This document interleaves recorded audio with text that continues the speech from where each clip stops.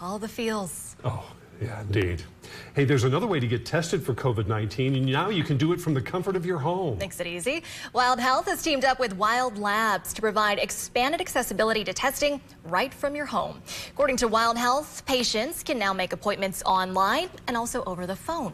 Once an appointment's made, a Wild Health specialist will be assigned and arrive on the date and time that you picked and administer the COVID-19 test. Specialists will then stay in contact with the patient and provide updates. These services are only being offered in certain areas. You can find more information on our website along with a link to schedule an appointment for an at-home test.